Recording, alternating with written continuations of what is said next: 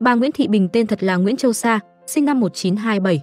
Nguyên quán tại tỉnh Quảng Nam, cháu ngoại của nhà trí sĩ yêu nước Phan Chu Trinh. Năm 1945, bà bắt đầu tham gia hoạt động cách mạng. Năm 1960, Mặt trận dân tộc giải phóng miền Nam Việt Nam ra đời. Năm 1961, bà được đề nghị đổi tên là Bình. Năm 1968, bà được giao nhiệm vụ vừa đánh vừa đàm. Lúc bấy giờ, cách mạng cần một người có bản lĩnh chính trị, có trình độ văn hóa, ngoại ngữ để làm đối ngoại. Bà đã được cử làm trưởng đoàn đàm phán của hội nghị Paris. Suốt hơn 4 năm, từ năm 1968 đến 1973, bà đã tổ chức nhiều cuộc họp báo, tham dự các hội nghị quốc tế với tư cách Bộ trưởng Bộ Ngoại giao của Chính phủ Cách mạng Lâm thời Cộng hòa miền Nam Việt Nam, đi tới nhiều nước để vận động, tranh thủ sự ủng hộ cho cuộc đấu tranh chính nghĩa của Việt Nam.